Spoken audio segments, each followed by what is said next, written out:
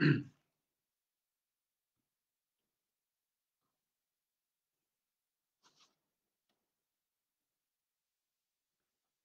morning to everyone who's joining us uh, for the live stream this morning from the Smiths Cove Baptist Church this Sunday, January 15th. The scripture reading I have chosen this morning is from Romans, and it's the last couple verses of Romans chapter 5, and then we move into chapter 6. So I'm starting at Romans chapter 5, verse 20. The apostle writes to the church in Rome to us today the law was brought in so that trespass might increase. But where sin increased, grace increased all the more. So that just as sin reigned in death, also grace might reign through righteousness to bring eternal life through Christ our Lord. And then in chapter 6, beginning at verse 1, what shall we say then? Shall we go on sinning so that grace may increase? By no means. We are those who have died to sin. How can we live in it any longer? Or don't you know that all of us who were baptized into Christ Jesus were baptized into his death? We were therefore buried with him through baptism into death, in order that just as Christ was raised from the dead through the glory of the Father, we too may live a new life. For if, with, if we have been united with him in death like his, we will certainly also be united with him in the resurrection like his. For we know that our old self was crucified with him, so that the body ruled by sin might be done away with that we should no longer be slaves to sin, because anyone who has died has been set free from sin. Now, if we died with Christ, we believe that we will also live with him.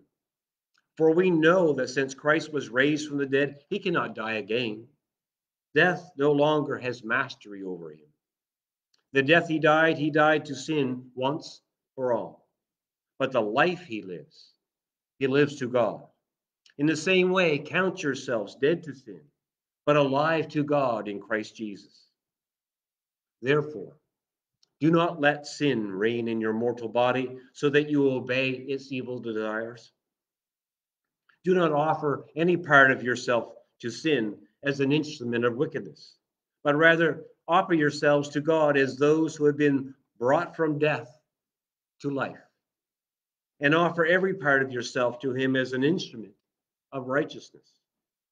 For sin shall no longer be your master, because you are not under the law, but under grace. Heavenly Father, we thank you for your word, and we pray, Lord, that your Spirit would write your word upon our hearts. We pray in Jesus' name. Amen. Last Sunday's message had us looking at the two sides of where most professing Christians are where they sit in their beliefs. One, we can obtain and lose our salvation, or two, once we have our salvation, we can never lose. This morning, we're, we're briefly going to look at what is termed as the contracts that God has instituted that brings holy God and sinful you and I into fellowship with one another. And I've spoken briefly about this in past sermons about how the Old Testament of our Bibles is the covenant that God had made with Israel, and it was based upon the law. Of course, our New Testament, the new contract that God has made, it expands from the Jewish nation in the Old Testament to that of the, non Jewish people. That's you and I as Gentiles. Combined into one human race, of course, the new contract is based not on the law, but on God's grace. So it's now here where we're seeing the two sides of salvation that God offers. One was based on the law or our keeping the commandments, and the other is dependent upon God's grace that He offers us, of course, through accepting Jesus' sacrificial work on the cross. There are problems that come to us basing our salvation on one or the other. As we base our salvation upon the law, well, that leaves us condemned because we can't keep the law perfectly. And yet, those who base salvation on God's sacrifice and grace, this can often end up with Christians treating His grace as a license to sin. Neither of these two scenarios or these approaches to God, they're not pleasing to God. The different sides of this goes a little bit like this. We've accepted Jesus. We believe that he is God in the flesh. He has sacrificed himself for us. He's fulfilled his own righteous requirements of the law perfectly because we couldn't. And I don't think any Christian would argue that point. If we add to God's grace and sacrifice, if we start adding things to it, many will say that by adding to this, and in this context, keeping the commandments, well, then our being saved is still dependent upon us keeping the rules, the laws, God's laws. People will say it's our, our works, more specifically, that our works translate into our not breaking the rules. So, as people, if they're trying to live their Christian life like this, often people will label them, others, as legalistic. It's because they're trying to live by the legal code of the old covenant, the old agreement. Hopefully, I haven't lost you. The other view or set of beliefs is, if you like, the other view is that we are saved by God's grace through faith in Jesus' sacrifice. And that's it. Nothing can be added to it. Now, this camp of believers will often quote a passage that I, I shared with you last week. I'm going to briefly share it again this week Ephesians 2, verses 8 to 10. For it is by grace you have been saved through faith. And this is not from yourselves, it is a gift of God, not by works so that anyone can boast. Many will end the quotation of that passage there, but we need to go a little bit further as I strongly suggested last week, that we complete the, the point that the apostle was making. In verse 10, it says, For we are God's handiwork.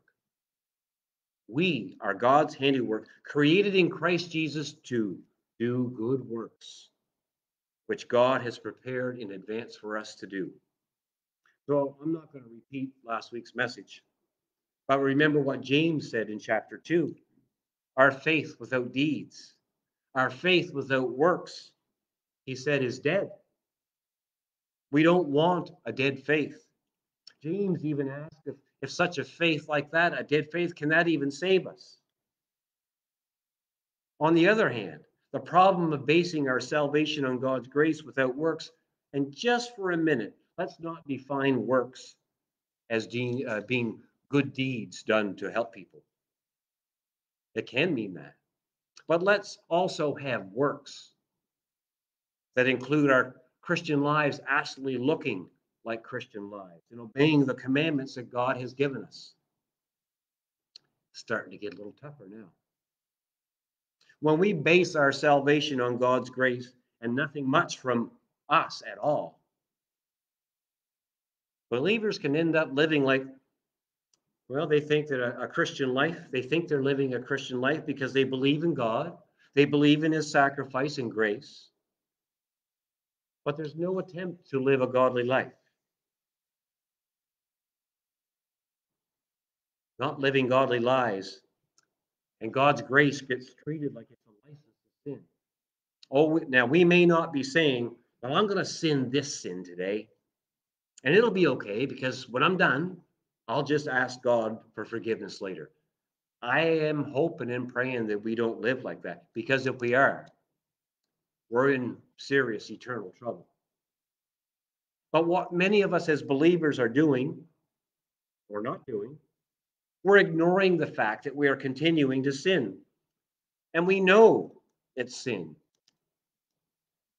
And we make no effort to stop. Maybe just as bad, we sin, but we don't acknowledge what we do that, that is even wrong. Evidence of this, as our society and our world has changed, and the world says this particular thing that was once considered sin, well, that's not sin anymore. So it's okay that we keep on living this way. Maybe this is why some of the pews are empty in many churches today. The truth for you and I, as Bible believing Christians, is that we need a balance to all of this. Come on, Mark, get to today's reading. the apostle, as I mentioned earlier, he's writing to the church in Rome. This is a group of believers he is writing to. He's not writing to the unsaved. We've received this letter in the scriptures. So this letter is to us as part of Christ Church. I'm going to go through some of the reading. I'm going to comment as I go. Hopefully, shorten the message up a little bit. In verse 20, the law was brought in so that trespass might increase. And Paul says, where sin increased, grace increased all the more. Paul's not saying that God brought in the law so it, and all these rules. He didn't bring in all these rules to make it tougher for us to be perfect. The laws are there so we live lives pleasing to God. The commandments are there to show us what displeases God or what actually sin is. The laws are there so that we treat other humans decently, the way they should be treated. You can also say that the laws are there to show us our sin. God puts forth a number of these rules in the Old Agreement, the Old Testament. And in the New Testament, the New Covenant, we encounter God's grace. And you need to know this. You likely already do, but God's grace has been with us since day one, all through the Old Testament. It's only in the New Testament, the New Agreement, that grace becomes more prominent, or it's revealed to us that God's grace is coming to us in a different way. Now God's grace is coming to us through his Son, Jesus Christ before Jesus, sin ruled and brought death. In verse 21, just as sin reigneth in death, now the new covenant. Just as sin reigned in death, the new covenant says that grace might reign through righteousness to bring us eternal life. Once Jesus came and brought God's grace to us, we now have grace overruling the old covenant. And as grace rules in our lives, we have a righteousness that comes to us that we never had before. This righteousness is from none other than Christ. It's living. This righteousness is living and working in us and through us. And now eternal life is in our grasp, within our grasp, within our sight. But what ends up happening? We, if we focus so intently on God's grace, then we start ignoring the rules the commandments. And now we land in chapter 6, where Paul asks, What shall we say? Shall we end up sinning all the more so that grace will increase? No, Paul says. We have died to sin. How can we live in it any longer? The message gets tougher. We're not supposed to be sinning. But grace is there if we do. I'm pretty sure you heard that. We're not supposed to be sinning, but we do. But we're allowing sin to continue in our day to day lives. Paul goes on to say that as we accept Jesus, as we're baptized, and in more than a symbolic way, we've died to sin. We are buried in the waters of baptism. As we come forth, it's like us being resurrected.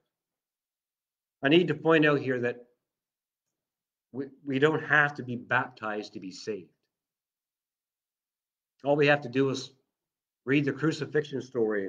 That one thief on the cross, he wasn't baptized, he wasn't a church member. Jesus says, Today you'll be with me in paradise. These verses about our sin and baptism and us being dead to sin, they were covered in verses 3 to 5. Paul says in verse 6 For we know that our old self was crucified with him, so that that body that we had that was ruled by sin is done away with. Paul will mention also later in chapter 6 and early in chapter 7 that once we've died, sin has no mastery over us. The laws do not apply to us anymore once we've died. They're only applying to us while we live.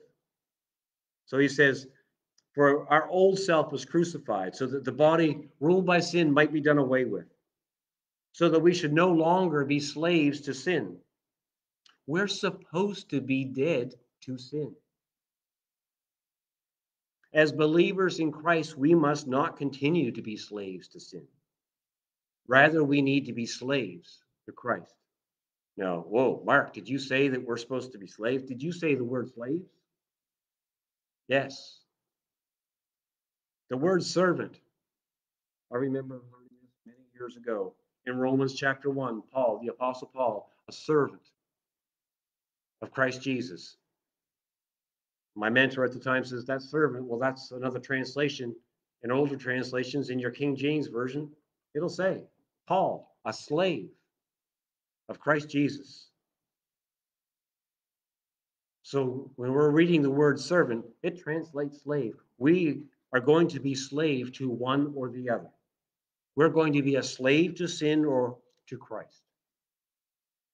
Maybe humanity, that includes us. Maybe we find it easier to allow ourselves to be slaves to sin. Because after all, it doesn't appear to be too harmful now, does it? I'm being sarcastic. Because if that's what's going on in our subconscious, my sin's no big deal. We're in trouble. Look around our world. It's because of people allowing themselves to be slaves to sin, including us. This is why we see all the sorrow and misery, the greed and the hate, the senseless violence and murders. This is a result of people being slaves to what? Sin. We can fathom maybe sin. We may expect it from non believers. But much of the slavery, the slavery of sin or to sin, it exists in you and I as believers. If you've ever thought that I'm stomping on your toes, mine are black and blue. Right now. So, about now, you might be asking, maybe saying in your minds, Mark, are you saying that we should be living and not sinning? In short, yes. And now that I stated that, you might be thinking, that's not possible. You even said so before, Mark.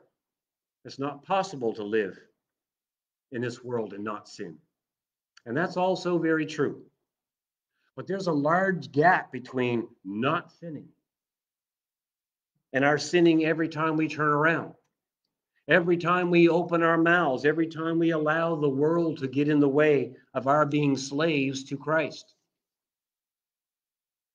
The apostle says in verse 11, Count yourselves dead to sin, but alive to God. Don't let sin reign in your mortal body, that you end up obeying its evil desires. Don't offer parts of your body to sin as an instrument of wickedness. In verse 14, sin shall no longer be your master because you're not under the law, you're under grace. So if we, you know, work to obey the law, and then we end up judging others, and maybe even maybe we even disassociate from others because they still sin in these areas where we don't. We can soon find ourselves living in that kind of holier than thou kind of life. That's not going to help anyone find Christ. We can get so tied up in keeping the rules that we forget that grace that we've received, that grace that they have received, as we continue along our merry little way and judge others, believing that they don't qualify for God's grace because they break the rules.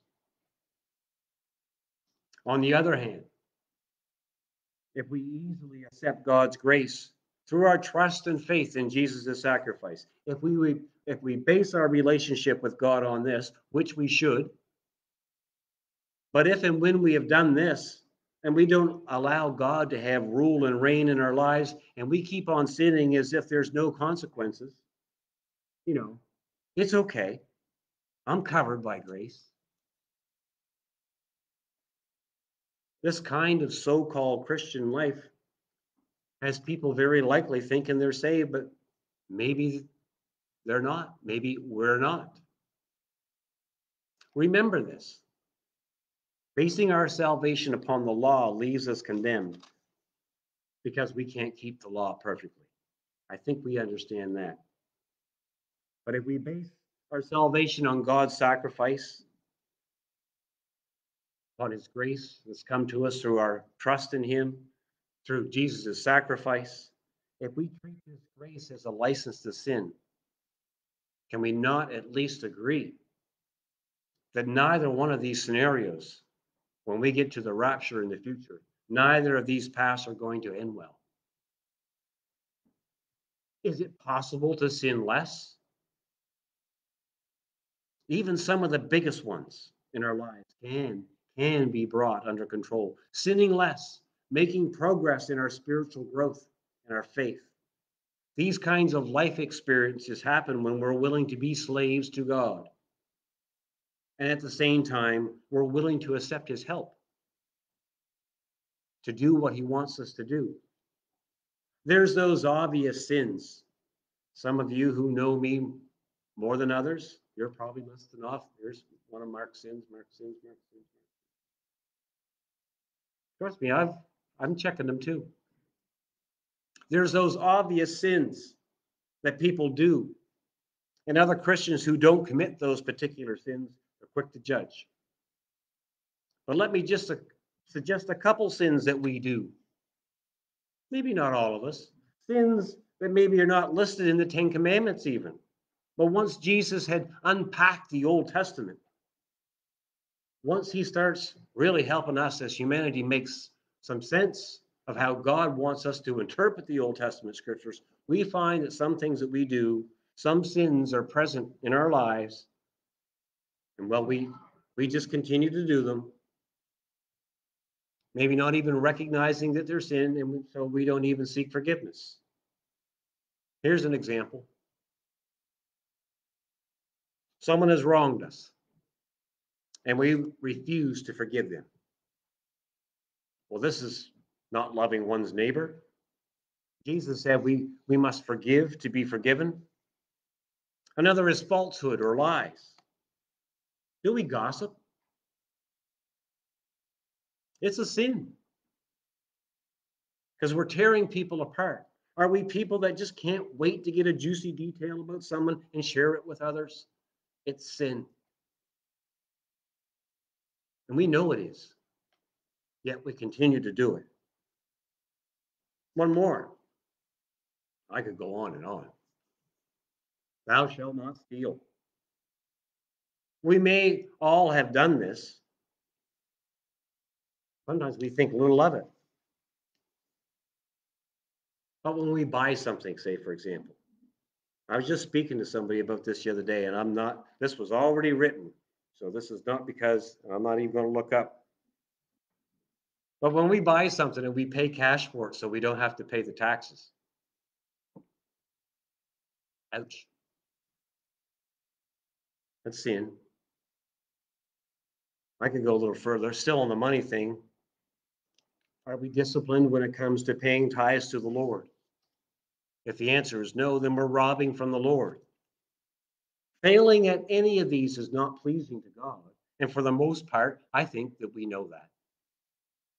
This is what's called willful, willful sin. Willful. Willful sin. We sin and we know it. Yet because of God's mercy and grace, we sin these sins, and then once in a while we might ask for forgiveness. Or we're asking forgiveness for the 1500th time. I need to wrap it up. We need to find a balance. And it's true that we can't find salvation by no other means than that through God's grace coming to us through the sacrifice of his one and only Son. Let's be clear on that. Saved by grace doesn't mean that we have a license to sin. We can avoid displeasing God if we would take our sins seriously and not shrug them off as minor or they don't have any consequences. Saved by grace, we're to be dead to sin. It shouldn't rule or reign in our lives. Christ is our master, and we are his servants, his slaves. We're not supposed to sin. But if, and if in big capital letters, if we sin, we can seek God for forgiveness. But the process doesn't stop there. Repentance is part of the process.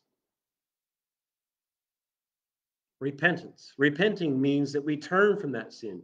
We recognize it as sin. We ask for forgiveness and we turn from it. We show remorse. We fight to avoid sinning that sin. And we're not left powerless to fight against the sinful human nature. God realizes we're but flesh and blood. We're weak.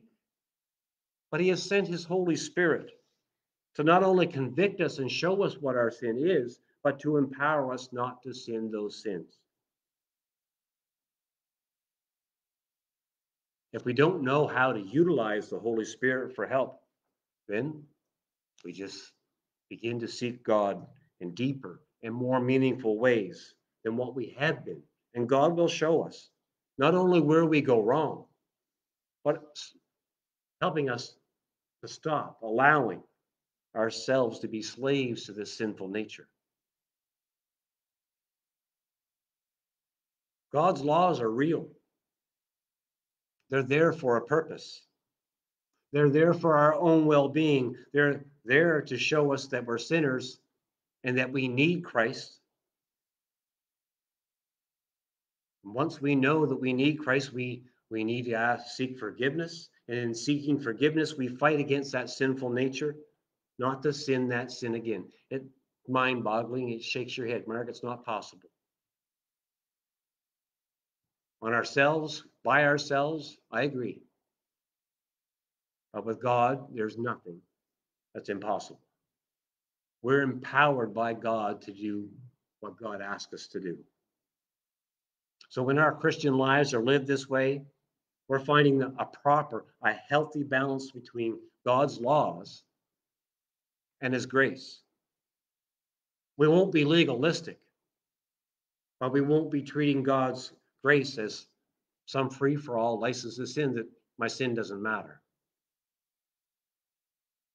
Let us pray. Heavenly Father, a tough, tough message, tough words to hear from you this morning, Lord, for all of us. Help us, Lord, not to, to shrug this off. Oh, it's impossible, and turn off and turn out the voice of your Spirit in our hearts and minds. Keep working on us, Lord. We thank you for your mercy and grace. We seek for forgiveness, Lord, for treating it so cheaply at times.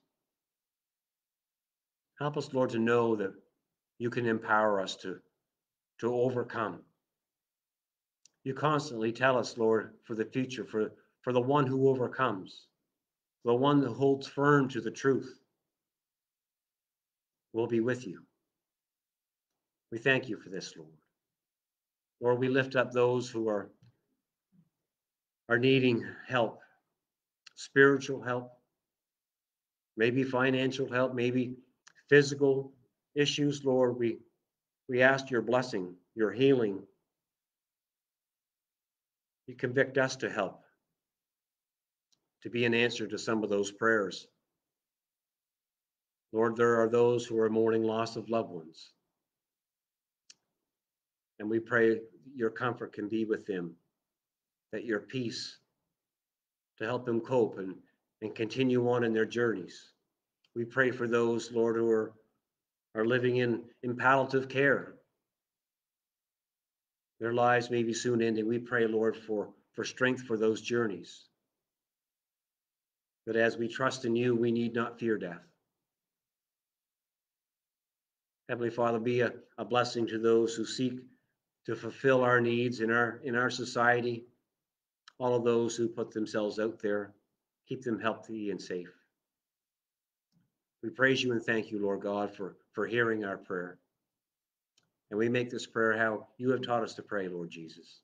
Our Father, which art in heaven, hallowed be thy name. Thy kingdom come, thy will be done on earth as it is in heaven. Give us this day our daily bread, and forgive us our trespasses, as we forgive those who trespass against us. And lead us not into temptation, but deliver us from evil. For thine is the kingdom, the power, and the glory, forever and ever. Amen. Blessings on your week to each and every one, to our loved ones near and far. And keep washing your hands, it's safer that way.